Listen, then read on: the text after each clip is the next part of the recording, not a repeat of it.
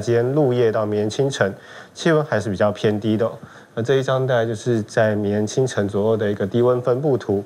那图中蓝色的区域呢，就是预计还是会来到十度以下的一个地方。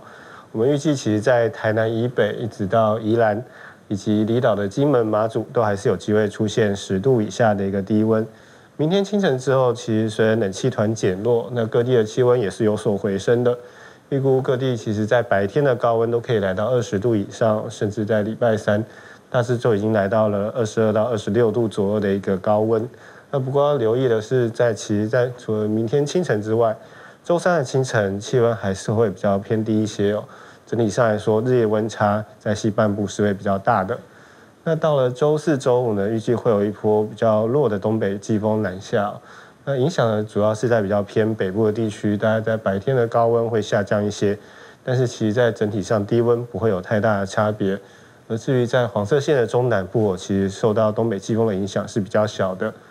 那到了三十号会稍微回温，那在跨年三十号这一天呢，又会有另外一股冷空气南下。我们目前预估强度大概还是以东北季风的等级为主。在周三白天开始，由于有一些南方云系逐渐的北移哦。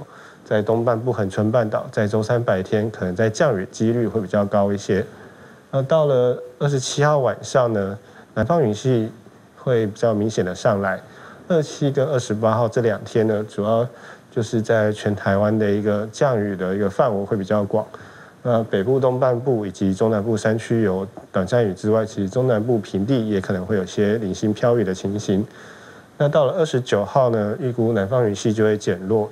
那，但是在东北季风影响之下，可能迎风面北部东半部还是持续有降雨的情况。